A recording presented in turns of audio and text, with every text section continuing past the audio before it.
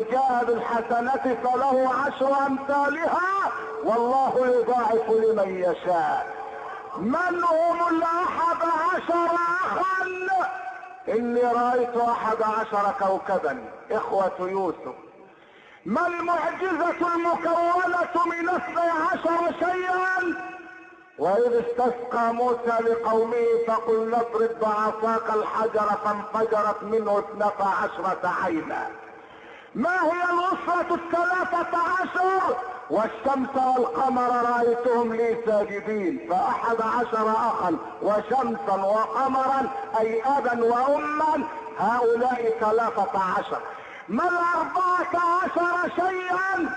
التي كلمت الله قال له السماوات السبع والأرضون السبع فقضاهن سبع سماوات في يومين ثم قال الله للسماوات السبع والأراضين السبع ائتيا طوعا أو كرها قالتا أتينا طائعين.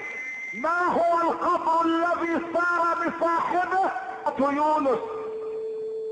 فالتقمه الحوت وهو مهين. ما هو الشيء الذي تنفس ولا روح فيه؟ والصبح إذا تنفس ما الشيء الذي خلقه الله واستعظمه؟ كيد النساء. إن كيدكن عظيم. ما الشيء الذي خلقه الله واستنكره؟ صوت الحمار. إن أنكر الأصوات لصوت الحمير. ما الأشياء الذين خلقها الله؟ من غير أب ولا أم. آدم عليه السلام والملائكة الكرام وكبش إسماعيل وناقة صالح. من هم الذين كذبوا؟ ودخلوا الجنة إخوة يوسف. جاءوا أباهم عشاء يبكون وقالوا لابيهم اكله الذئب.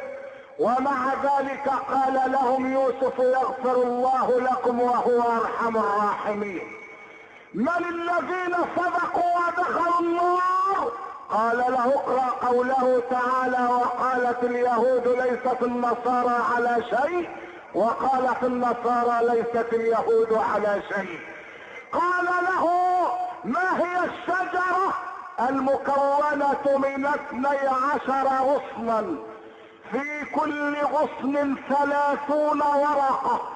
في كل ورقة خمس ثمرات.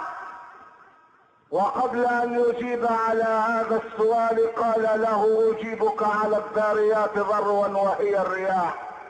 والحاملات وقرا وهي السحب التي تحمل الأمطار. والجاريات يسرا وهي السفن التي تجري على سطح البحر. المقسمات أمرا وهم الملائكة الذين أمرهم الله بتقسيم الأرزاق والحسنات والسيئات وكتابتها. أما هذه الشجرة فهي السنة فيها اثنا عشر غصنا أي اثنا عشر شهرا. في كل غصن ثلاثون ورقة أي ثلاثون يوما. في كل ورقة خمس ثمرات أي خمس صلوات. ثلاثة في الظل المغرب والعشاء والفجر. واثنان في الشمس الظهر والعصر.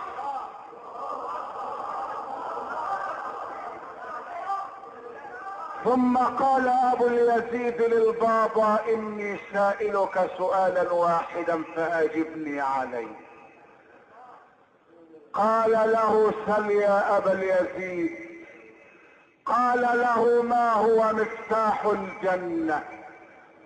فوقف البابا صامتا فقال الجالسون تسأله كل هذه الأسئلة فيجيبك ويسألك سؤالا واحدا فتعجز عن الإجابة. فقال لهم والله إني أعلم الإجابة تمام الحلم ولكني أخاف منكم. قالوا له قل ولا تخف ونحن وراك. فوقف البابا وقال مفتاح الجنة لا إله إلا الله. محمد رسول الله. فقال الجميع وراه لا إله إلا الله. محمد رسول الله. فقاموا على الدير فحولوه إلى مسجد يعبد فيه الواحد الديان.